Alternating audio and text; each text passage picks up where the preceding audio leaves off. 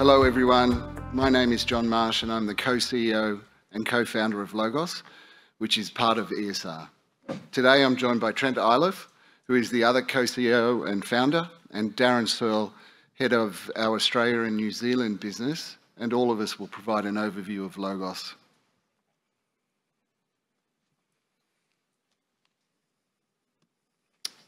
Logos is a logistics, property, and infrastructure real estate specialist. We provide innovative solar, intermodal, and data center solutions, sourcing land and facilities, and developing and managing assets for some of the world's leading investors. Logos has grown organically over the past 13 years through actively partnering with our tenant customers and investors across multiple countries to deliver institutional quality logistics property solutions. This partnership approach sees us now operating in 10 countries across the Asia Pacific, with 11 million square meters of property owned and under development. Our competitive advantage is providing an end-to-end property solution from sourcing, developing, managing, and divesting logistics property. And as we grow, we are increasing our focus on the infrastructure sector, covering data centers, solar, and renewables, which Trent will speak to. Over the last five years, we have leveraged our strong market and customer relationships, sourcing 5.2 billion of transactions, including two of Australia's largest logistics and intermodal development opportunities in Mascot and Moorebank. A foundation of our business is our development capability, where we bring our international expertise into local markets to plan, design, and deliver institutional-grade facilities and meet the increasing demand in automation, high bay, cold storage, and intermodal. Our in-house asset, property, and investment management teams support the business over the venture life cycle, with strong institutional and customer partners across multiple countries, which has supported our growth. Our strategy is focused on growing AUM, and as our development funds near their review dates, we look to recapitalize or recycle these assets into new core funds or within the ESR Logos managed REIT. A recent example of this was the recycling of some of our Australian assets into E-LOG, with the REIT acquiring properties worth up to 600 million from our Australian development funds.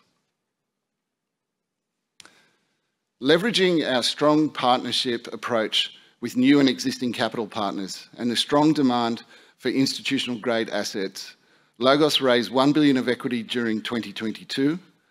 We have a total of 4 billion in dry powder that will allow us to deliver on the many opportunities we continue to see across the region. We currently have 4.3 billion in construction underway, and I would like to highlight that several key projects in Australia, that is Mascot, Eastern Creek, and Craigieburn, have commenced but are not included within the work in progress. Due to the highly specialized nature of these projects and Australian regulatory requirements, these projects have not yet been included as construction starts and reflect another 2.2 billion of additional WIP. On completion of our full development pipeline, Logos' total GLA sits at 11.3 million square meters. I'll now hand over to Trent to go through the themes and outlook. Thank you, John. Uh, firstly, Abhijit and Joe are a hard act to follow, so I'll try and try and keep up with that. So thank you, guys, and thanks for the overview. So firstly, I'd like to touch on three key priorities uh, that we're focused on as a group. First one, continue to support our customer growth across the region, including a focus on high-value projects and scalable opportunities.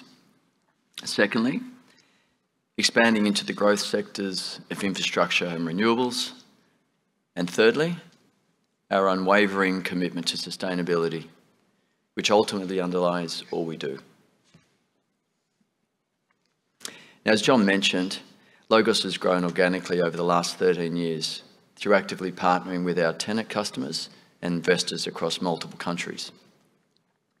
Now, we remain focused on supporting our customer growth as they respond to the changing market requirements driven by advancements in technology, the reshaping of global supply chains, and a drive to strengthen food security. Now, I'll highlight a few of the key examples of our partnership approach in action. The first one I'll talk about is LF Logistics. Now, we've been working with LF Logistics. Now, they're a third-party, global third-party logistics operator. We've been working with them since 2016, where we first built a three-story, one, uh, 1 million square feet facility in our Shanghai Logistics Centre in Shanghai. As a result of that, LF entrusted us to develop its first Australian facility in Sydney, and that was to help support their expansion into this market. Since then, we've also partnered with them in Indonesia and Singapore. Now, Amazon tells a similar story, where we first started our relationship in Bangalore, in India, and built a million square feet facility for them a few years ago. That's now seen us extend that relationship into both Australia and Singapore.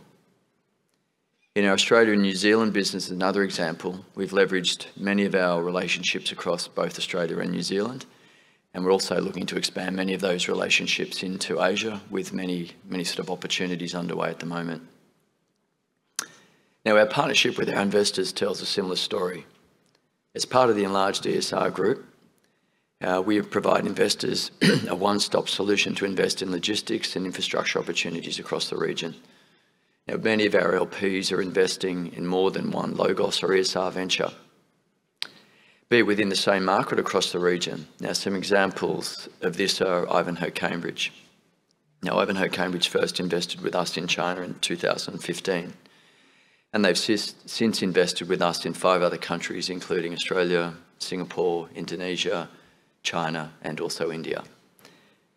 GIC is another example of this. Now, GIC was our first LP in the Australian market in 2010. They now invest with us in four countries, including China, Korea, Vietnam, and New Zealand, in addition to the other investments across the enlarged ESR platform. Now, other LP multi-country relationships include Bouwinvest, Mubadala, and Manulife.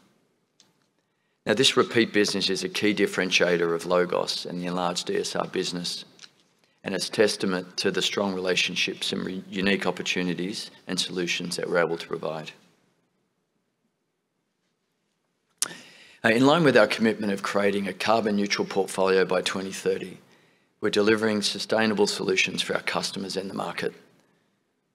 And we're seeing strong growth opportunities in the infrastructure and renewable sector, we believe Logos Logistics expertise, a drive to be ahead of the curve with technology and market changes, relationships with our customers and capital partners, makes us well placed to deliver on these initiatives.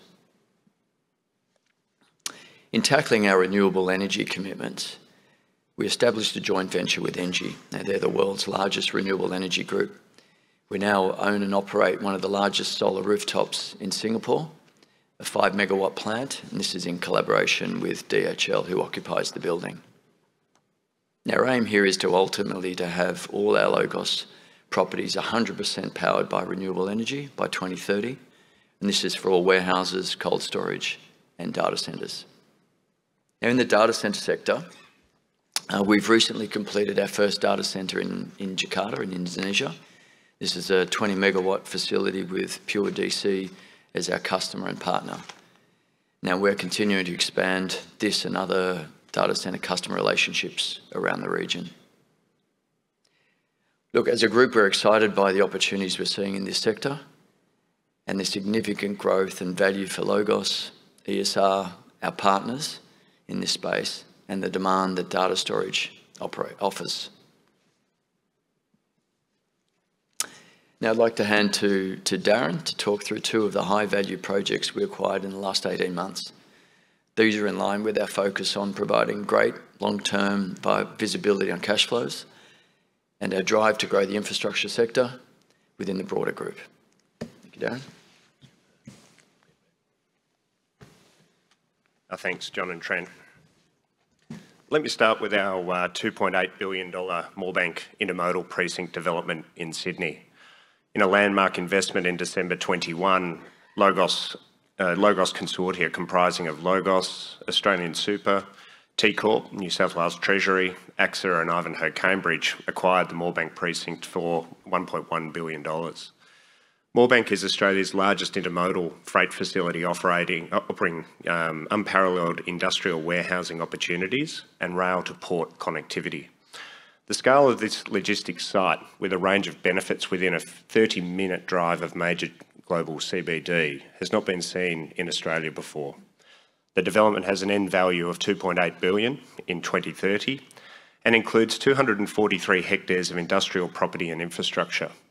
There's two intermodal terminals facilitating interstate freight between the capital cities in Australia and an import-export uh, terminal connected to the Botany Port.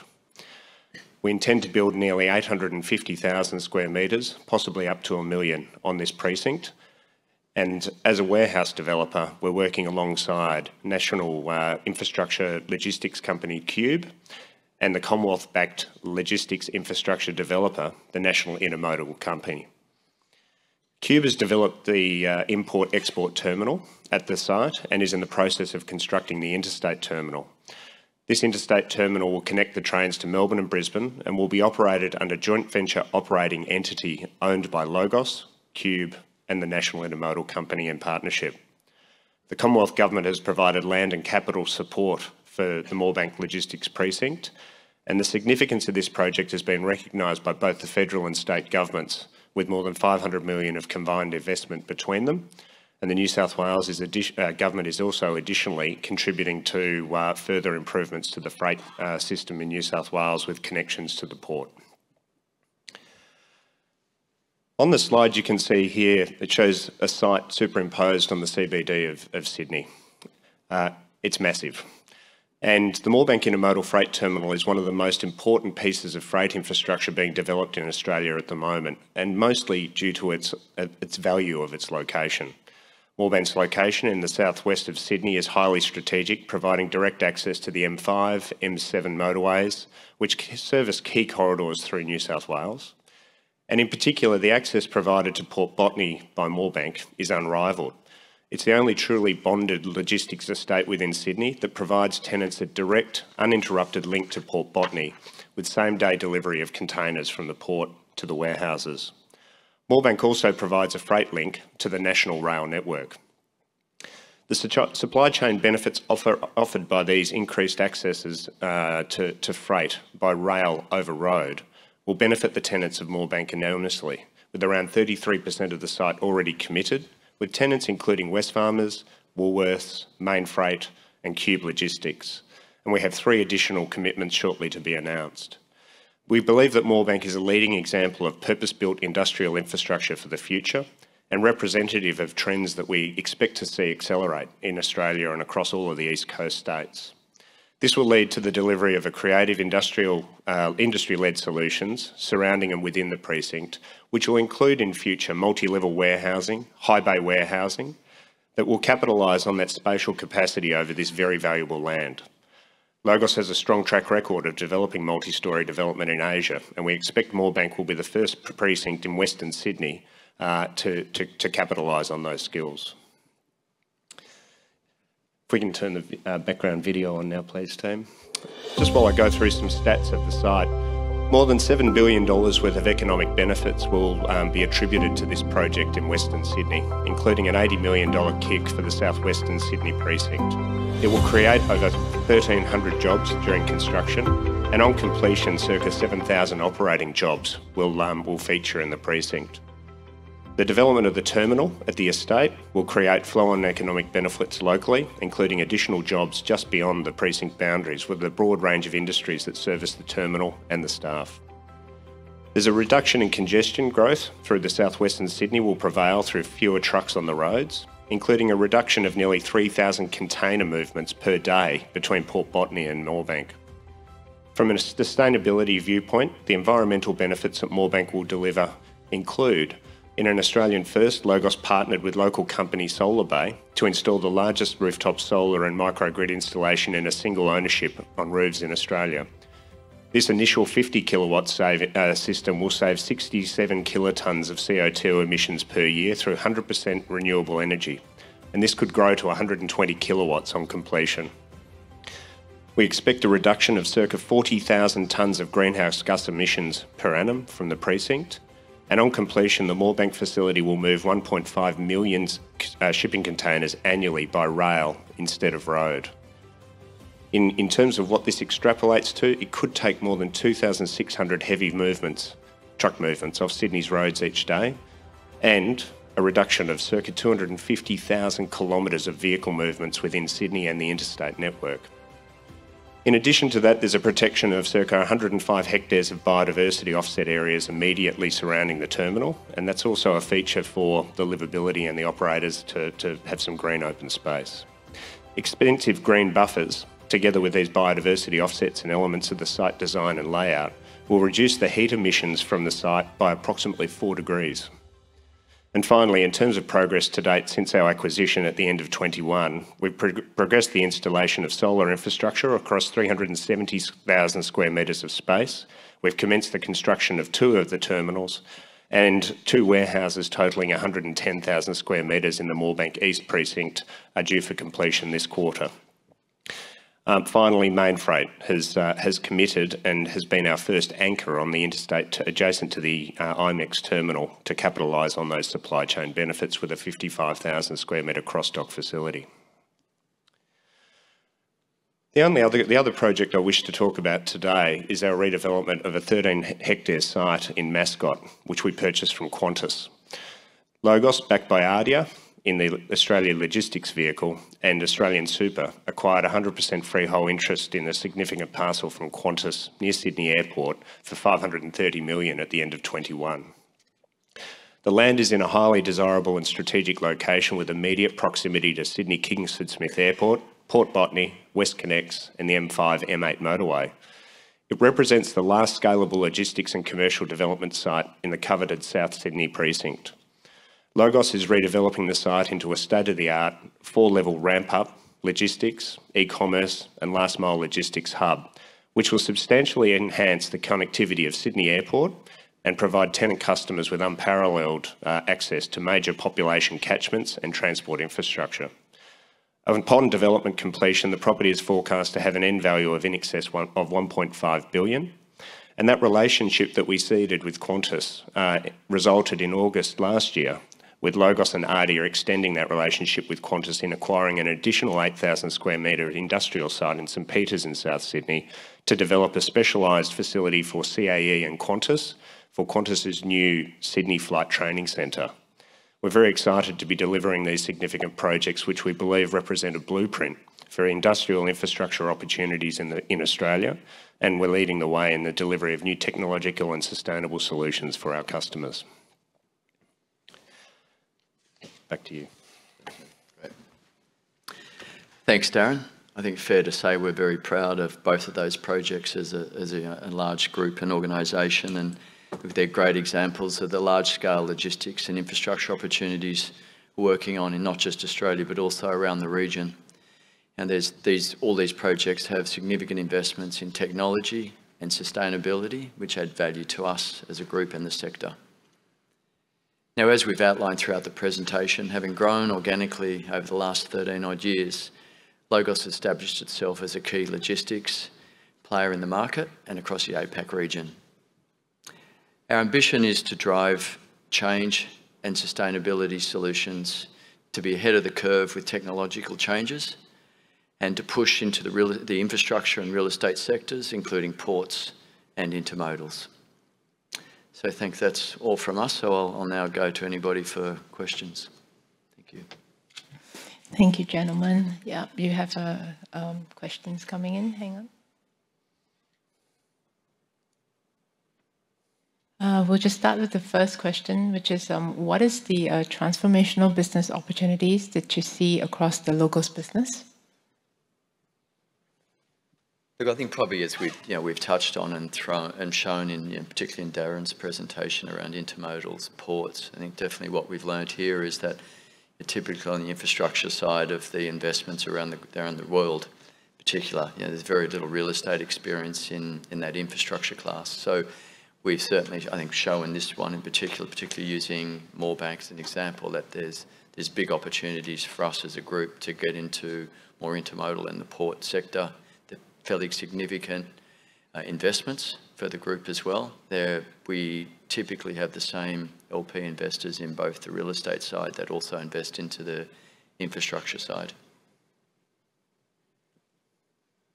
Okay, thank you. Um, the second question that we have is, uh, could you share the underwriting return for Moorebank and the Mascot project and how that has changed? Darren, you can answer that one. Um, Moorebank and Mascot were significant uh, investments that the, the group and capital made. They were competitive processes that Logos participated on with our with our capital partners. I don't think I'll share the actual underwritten returns per se. Uh, suffice to say that at the time of entering into both of those acquisitions, we, we, we went in very, very strongly and firmly and convicted on outcomes on the development and outcomes on uh, how those projects would be developed and enhanced further. And we stretched our underwriting to assume higher FSRs in the case of, of Mascot. We certainly stretched our expectations on, on how the development and the GLA at Moorebank would be achieved. And um, it's fair to say that uh, there, whilst there's some risk in terms of making some of those assumptions, our, our investors are going to receive the benefits of, of, pushing the boundaries a little bit on what's going on. So I won't give you an underwritten return. Suffice to say that we are we are pushing the boundaries of, of how much we can build and where we can build it. I think to that point as well, we have, um, you know, uh, was underwritten on 850,000 square metres of uh, space. We've now increased that to over a million square metres. So even though construction costs have increased and, other challenges, we've been able to increase the, um, GLA across the whole project, which increases returns. Also, I think the fact that rents have increased significantly over the past year, as Phil mentioned, um, you know, has also helped returns. Okay, thank you. Um, last but not least, Yep. Last but not least, uh, we noted the questions that have come in on the um, on the integration. As I mentioned earlier, we will take that um, at the uh, concluding Q&A session later. Okay. Thank you. Okay. With that, thank you, gentlemen. Thank you.